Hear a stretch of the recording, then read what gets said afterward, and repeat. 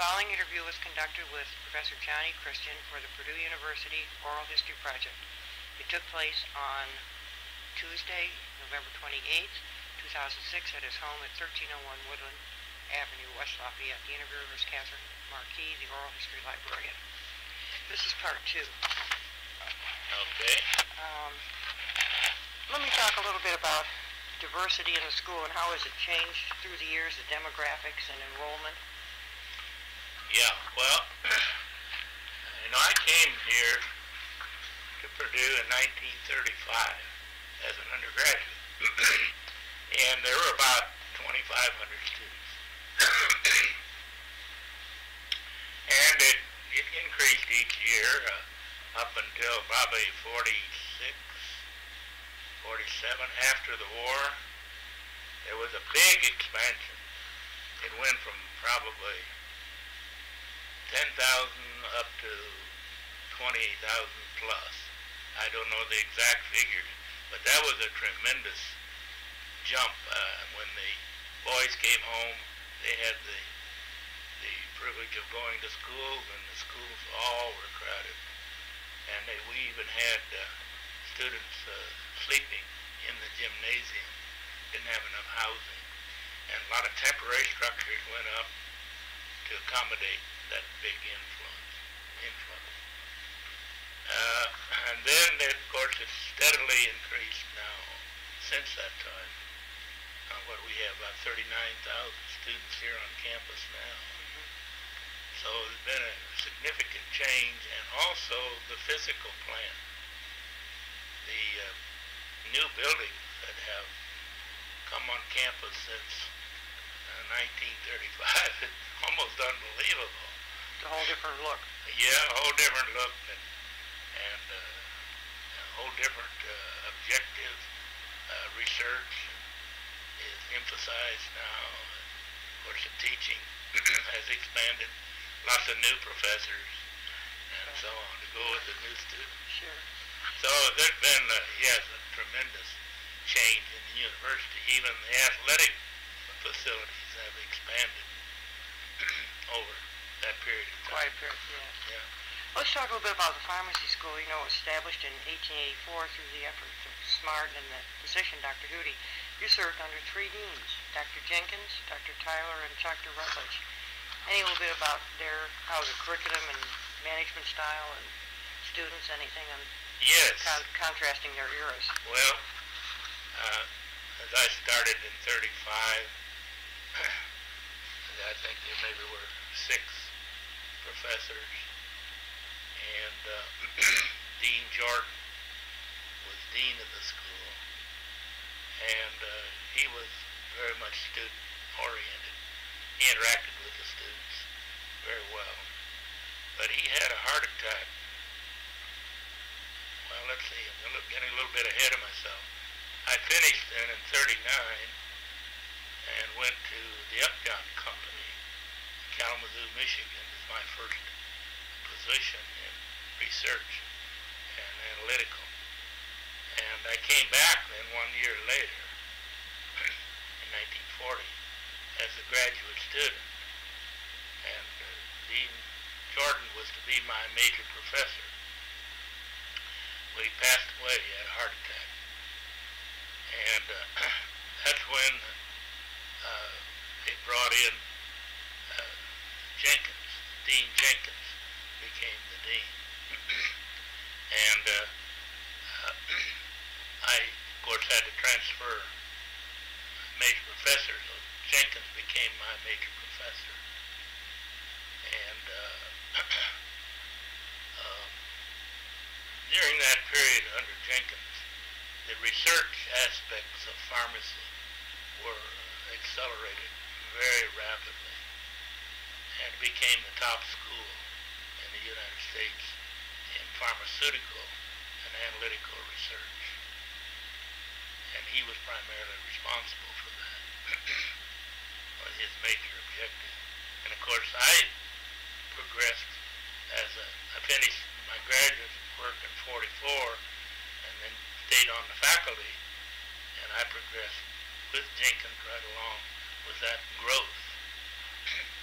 and uh, in that period, uh, I was appointed as an assistant professor, 1945, and uh, associate professor in 48, and full professor in 1950. And in the interim, I was heading up, uh, started the bionucleonics department. I started the, the division of radiological control. And uh, as late as 1978, 79, I started the new school of health sciences. And then I finished my administrative work. I retired about 1988.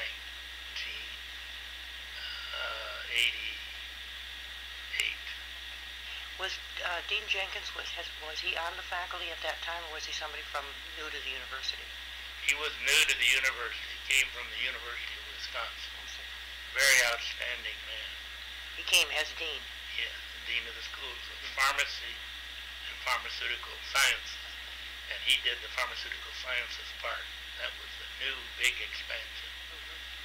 And we had, you know, overnight, we had two or three graduate students when I started, but almost uh, with the war, after the war and so on, that expanded to up to 70 graduate students in the School of Pharmacy. Quite a significant Right. expansion. And he was, re- and then did Dean Tyler came after him? Uh, yes, Okay. Dean Tyler came after And me. when he was from the, he was not with us on the staff at that time, was he? Came. No, he came from the University of Washington, Okay. Seattle. Okay. Yeah. And then, uh, I don't know the exact year, but in the 80s he, he uh, became vice president Right, right, of the university. right. And then, And now, had you, when Dr. Rutledge was the dean, were you still, uh, or had you retired? uh, I had retired about that time, Okay, yes. okay. I don't know what year he came now, but must have been the late 80s. Was there, did you notice that Dean Jenkins was pretty student-oriented? Was that true with the others then? Or Yes, Was uh, he more They were all very much student-oriented, but uh, Jenkins was more scientific than the other 2 Mhm, in terms whole period of expansion. Sure. Um, the others were interested in research also, but uh, Jenkins really developed it. Then the graduate enrollment, and and of course, one, wasn't one of the changes is now a five-year program to get? Yes. Did that take place during that time, or? Uh, that took place uh, officially under uh, after Jenkins uh, retired. About that time, yeah. yeah. You had the year there that Jenkins retired? I could, no, I don't have it here. Okay. Yeah, no. I've kind of forgotten when Yes. that was. But I knew that, I, in doing some research, I knew that he, those approximately were the times when you would have been there, that they were the. Yes. And And Jenkins was about the earlier, one- yes. earliest one. Uh, You were talking earlier about buildings, and pharmacy schools had several buildings, and then 1970 dedicated the current building. Yes. Yes, that was kind of a big, big event. big event. Yes, you bet. Yes, they um, got the, they built, they built a brand new facility, didn't they? That what it was? Oh, yes. That rather than where it was before was Yeah, where it was, that became Student Affairs Building. Uh, Schleman Hall when that. uh, yeah, Schleman Hall now. That's right. That was the old pharmacy. Yes, that's right. Were you involved at all in any of that Oh, planning for the new building? yeah, oh yes, very closely. And uh, what happened there during the expansion of the undergraduate program after the war, the university brought in a number of uh, temporary buildings. They were old uh, army barracks, and uh, we had just north of the old pharmacy building this temporary building. Where Armstrong uh, is being built, the Yes. temporary buildings, was that about the time that they were built? Yes. And uh, and during that period, uh, Jenkins started it, but then uh, uh, the next dean, uh, Tyler? Tyler, uh, was the dean when it was built. And uh, all the faculty were deeply involved in that the plan. design of that building.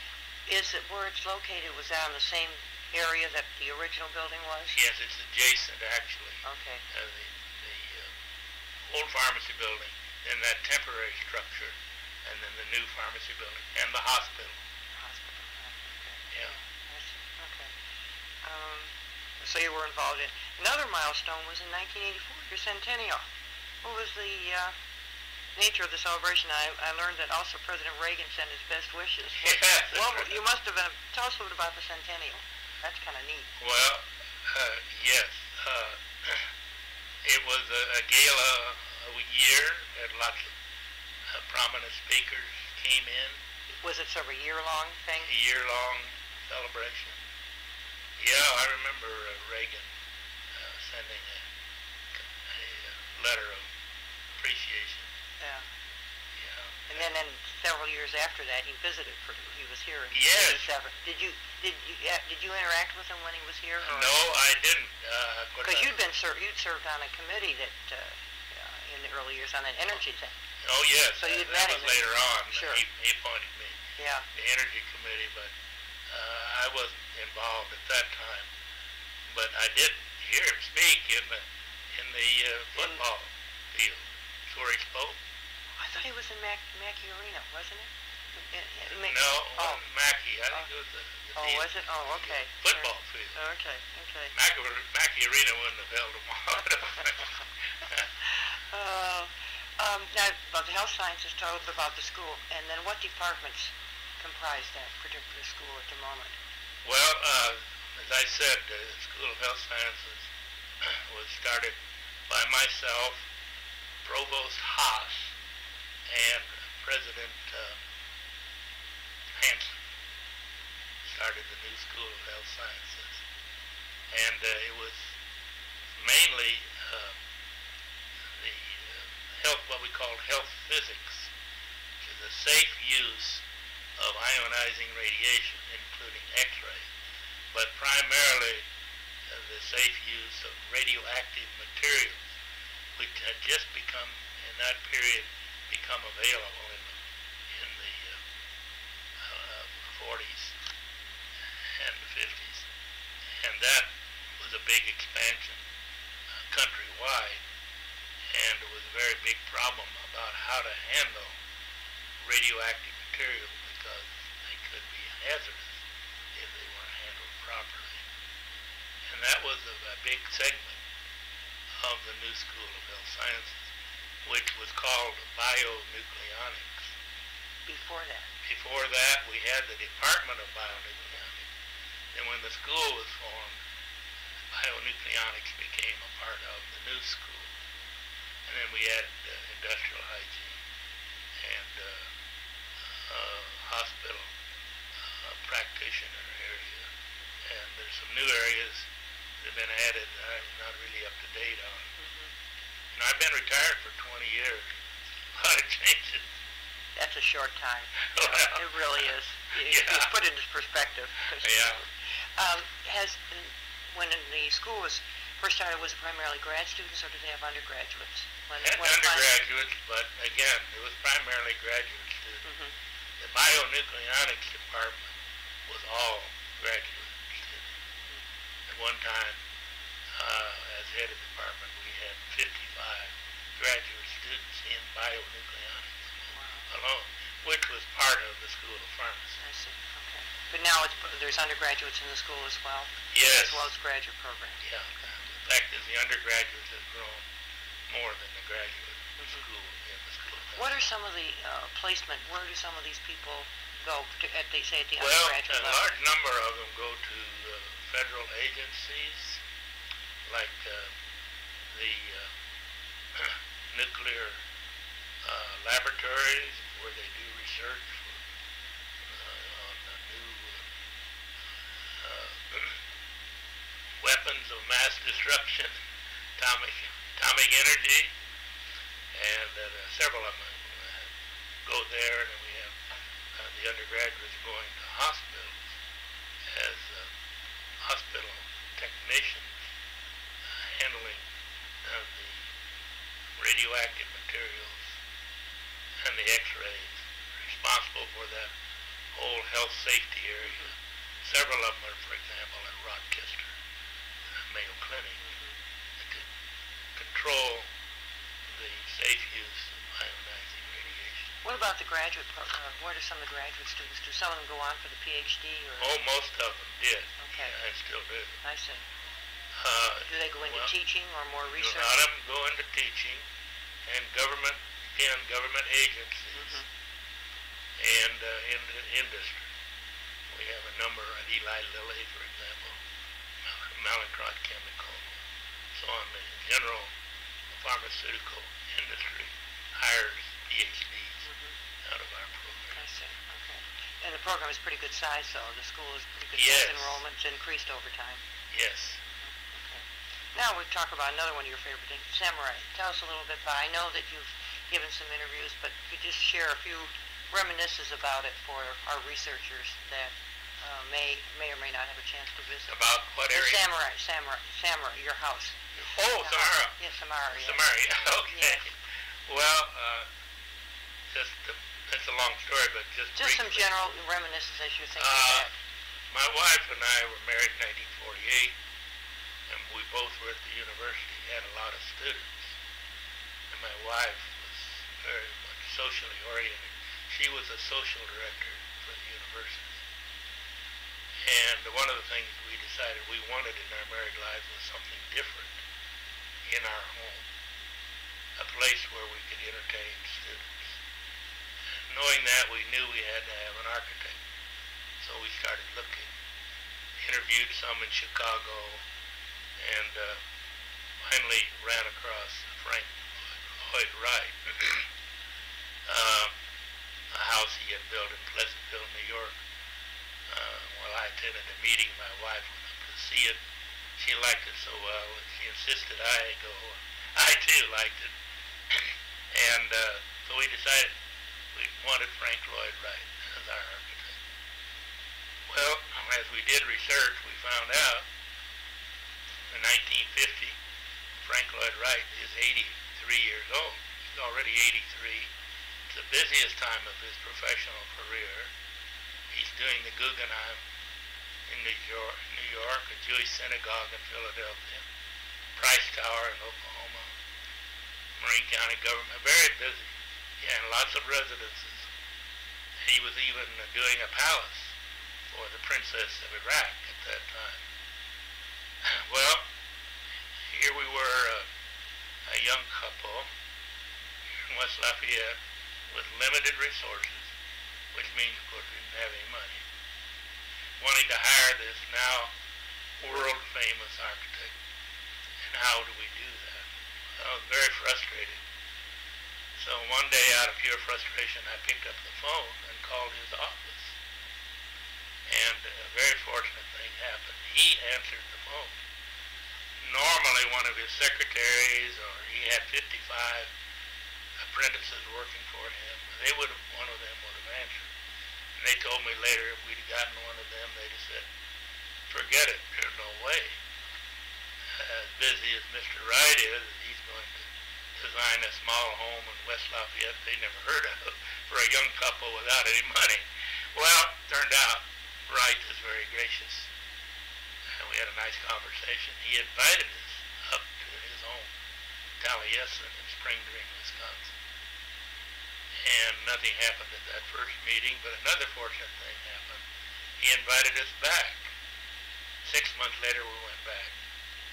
And halfway through that conversation, I simply blurted out, well, uh, Mr. Wright, will you design a home for us? And he hesitated. He looked around the room, cleared his throat, you know, like he was going to say no, too busy or whatnot. But instead, he very enthusiastically said, of course, I'll design your home. But then, with a gleam in his eyes, you can see it there in the mannequin, he turned to my wife and he said, Mrs. Christian, how much money you got? Knew we have any pulling our leg. And that was the last thing we wanted to talk about. So my wife recovered more quickly than I did. she said, well, Mr. Wright, uh, she had a gleam in her eye and a smile. And she said, we, we do, we don't have any money. We all laughed like it was a joke. it wasn't a joke. But he knew that, and he him. They, to they, build our... had respect for each other. Yes, uh, we had a good rapport. He liked us, and we liked him, and it just worked out. Yeah, very fortunate. Did, but he never came here though, did he? He never here. Has his ne- he has never seen, never saw the house. No, he was never here either before or after. Uh, I we, Kay invited him on more than one occasion. The last time she invited him, he was giving a lecture in Indianapolis. He was uh, 90 years old uh, and uh, uh, was still very active. And she called him, and he very graciously again declined. He was much too busy. But then he said, which is typical, he said, but Mrs. Christian, I don't need to see your house. I know what it looks like. And he did, no question. Did you already have the property before, Yes, we Oh, did. oh. And it's interesting. uh, before you even decided, or Yes, uh, was it coinciding with the, that you wanted Wright to build your home? yes. Uh, we purchased this lot in 1948 before we knew anything about Wright. And it's interesting to point out that there's seven acres here east of the US 52 highway. And that was owned at that time, in 1948, by Purdue Research Foundation. And the plans were to build the president's new home here on this site. But President Hovde didn't want to live on the west side. He wanted to live over in Lafayette, away from the students, I guess. Anyway, he had a home on 7th Street. And so the university, this is all the land they own, decided to sell uh, seven one-acre lots. And my wife and I were fortunate to get this one acre. And uh, uh, Mr. Wright liked the lot. Uh, he Did you show him pictures of? Oh the- yeah, Okay. all the details, photographs, terrain maps, trees, locations. He had it surveyed and everything. Yeah, all the details, and he took that, and he liked it. And he asked us how large it was. I told him it was a little over an acre. And he said, "Good thing. But anything less than that, I would not design, design your house." Because he was demanding at least an acre in that space. So that's a little quick story about That's that. very, and the furnishings that with the house, maybe they were covering some, but I'm asking you, did, did you get some of them originally and have you added to them or tell us a little bit about how they come about? Well, we had an agreement with Mr. Wright, since we had limited funds, that he would do all the plans for everything. And then we would add to the house as we lived in it, using those plans. So at the beginning, uh, there were uh, this room, of course, there are lots of built-ins. See all those built-in seats over there. Uh, but the furniture, much of the furniture, most of the furniture that you see here, like the Hassets, these tables, uh, the uh, high fidelity, and the amusement center over here, were built before we moved in. But then, as we were able, we added his design plan, which were made specifically for this house, from his plan. And we never altered that. We agreed all of his plans as he, there were about 150 uh, plans, drawings, sketches, great detail. And uh, we, uh, every year added. And I'm still, after 50 years, I'm still, still adding. Um, the, but you've added some of the furnishings as well over time, have you? Oh yes, this, this lamp, for example, Okay. This, this lamp here was about 1990. This Is- one, uh, maybe 95. Is it difficult to get to furnishings today versus years ago? Well, uh, it, it's difficult in the sense that he specified Philippine mahogany throughout. Everything had to be one wood, and it's difficult to get Phil- Philippine mahogany. But we had that all made, you see, Sure. uh, made according to his drawing. specifications. Yeah. Yeah. And And uh, we're still still doing that. He he had uh, he devised a uh, theme for the house based on winged seeds. That's what Samara means, winged seed.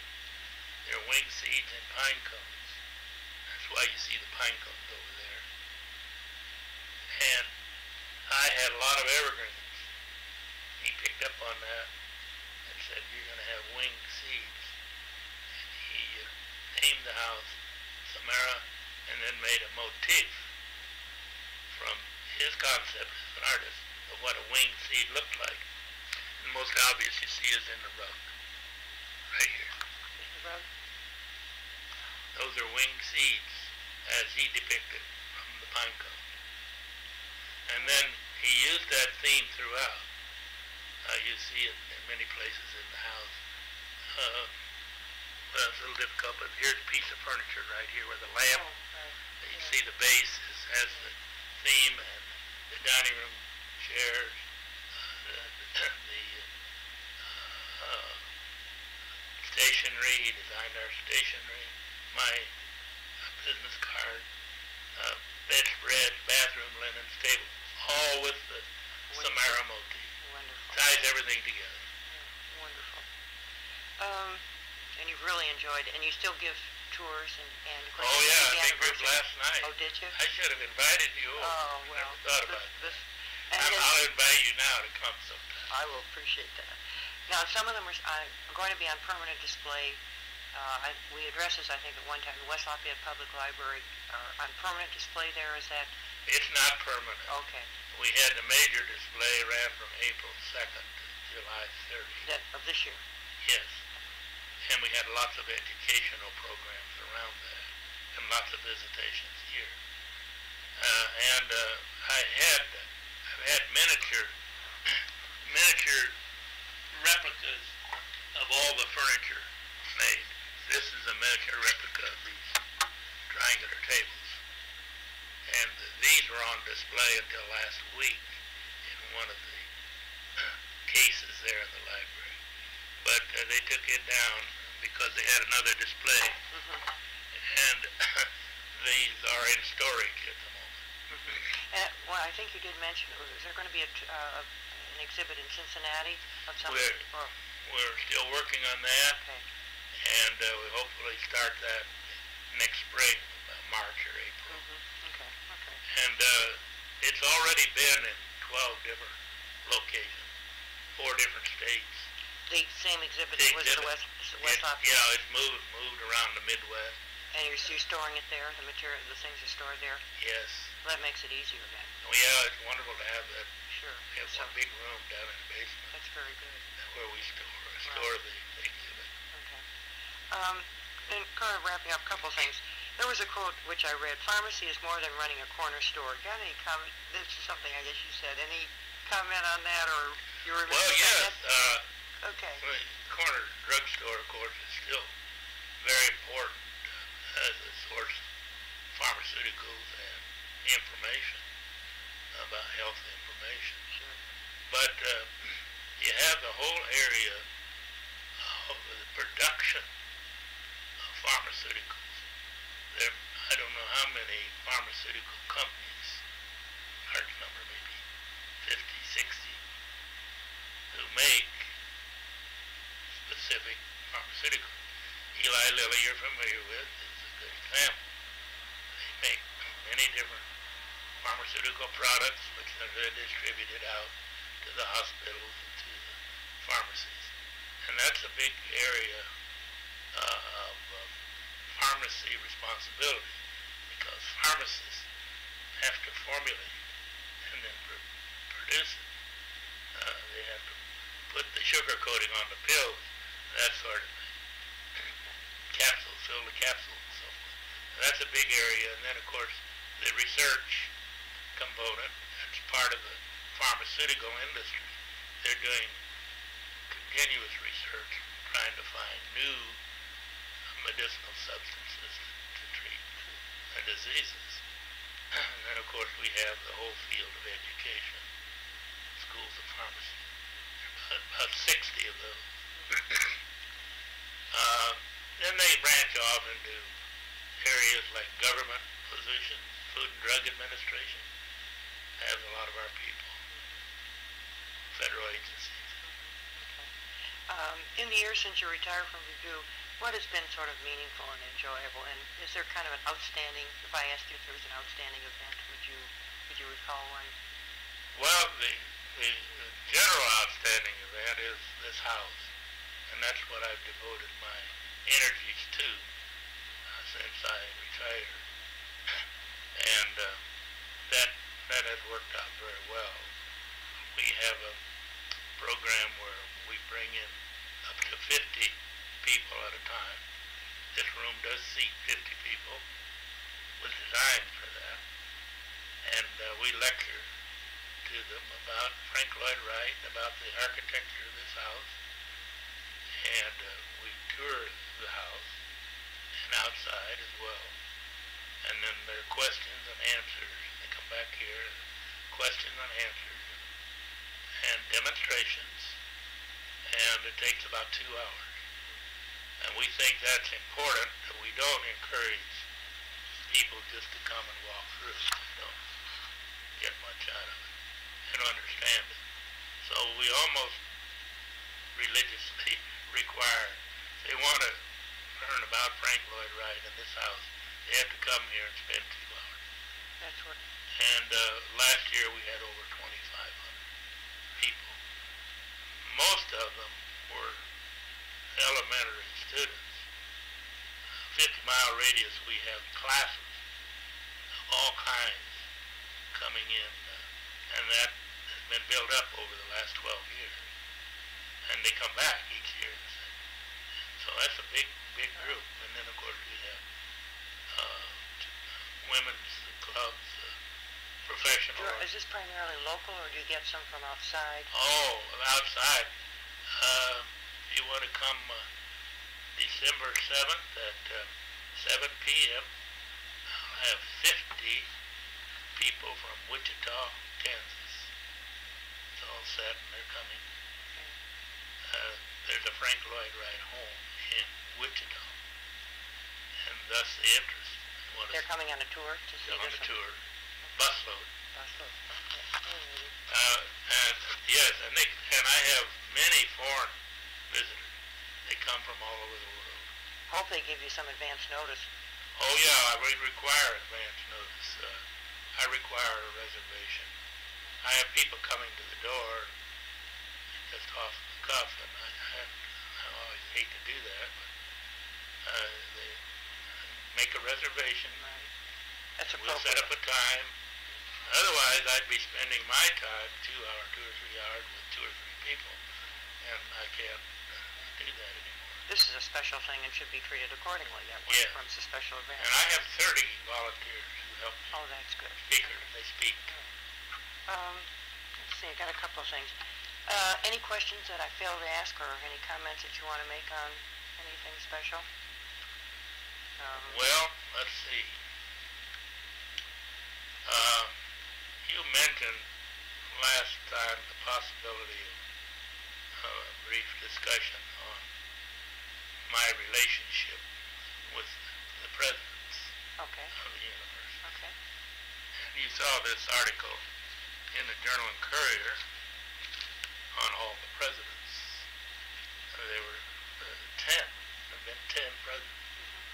And I was fortunate to work under five of those presidents uh, during my 48 years. And the first one was Edward Elliott. And Elliott was an elegant, uh, fluent speaker, very dynamic. And he was a good student. He was interested in students. And he retired in 46. That's about the time I became an assistant professor. And uh, he was appointed after he retired as director of a United States wide pharmaceutical survey, surveying the industry, including the schools. And a part of that was responsibility that he visit schools to see if they met the accreditation standards set up by the American Foundation Pharmaceutical Education. And fortunately, as a young assistant professor, I was asked to join him, to work with him on four of those visits. What an experience for a young assistant professor. And so I got to know him. You know, we Sure. traveled together. It was, great. Uh, Hovde followed him, and was more research uh, oriented. He was interested in nuclear physics. The fact is, he was in the nuclear industry business before he became professor and president here. And he was the one that got the idea of starting the bionucleonics department. He coined that name. Bio means biology, nucleonics, nuclear physics. Nuclear physics applied to biology. Um, he, that was his doing. He appointed me as coordinator of bionucleonic research. And later I became the head of the bionucleonics department. so that was his his main forte. And then Hansen, Hansen was much, much more student oriented than any of the other. And he spent most of his time in that direction. Although he was the one, along with uh, Provost Haas, that worked with me in starting the new School of Health Science. He was interested in the health aspects. And then uh, following that, uh, we had Beering. And Beering was kind of in between research and student. He was, he was good, very fluent speaker, outstanding man, as they all were, though. We were just fortunate, Purdue, to have all these outstanding men as our president. And uh, uh, I got to know him fairly well, but we didn't have anything specific in my area. Most of what I did had already been done. And then, of course, uh, Martin Jischke, who had put his attention on uh, financing, fund, finding funds. Uh, he was responsible, however, for uh, appointing me as uh, distinguished professor of bionucleonics and health sciences, emeritus. So that was our main relationship with Jischke. Well, that's a quick summary. That's a good It was a wonderful, wonderful Yeah. group of men. Um, one thing I'm, I'm in, uh, you know, the transcript's going to become part of the library's archives special collections. Have any comment on, on archives or preservation? Anything that you think about? Uh, Purdue? no, just in general. I mean, because some people, they real. I think people today realize more about preservation and the value of it. And I think this is a question that I try to ask, and, and interesting because you know that that's where it's going to be. It's not. It's going to be for the researchers to use. Well, I think it's extremely important what you're doing, and uh, there has been a, a big surge of interest in uh, uh, uh, archival records. Uh, and one big area is this area that you're conducting, uh, where it's uh, interviews, person-to-person interviews, and uh, you know that's been done by well, I know uh, the Frank Lloyd Wright Building Conservancy, the uh, Frank Lloyd Wright Foundation have all made uh, uh, recordings of clients or outstanding people associated with those organizations. I presume other universities are also doing this, although I haven't heard specifically that that's the case. But uh, I think that's very important, uh, along with collecting uh, information like the bio sketches Right. that uh, someone's interested. It's Right. available. Yeah. It makes it, and that's part of the uh, preservation of the history of the university. Right. Good. Um, I think that just. Uh, let's think of something else. Um, uh, any topics and questions, but I think, is there anything, in a closing thing that you'd like to make a comment on? Well, no, I think we've covered it very well. Okay, all right. Very, very fine. Okay.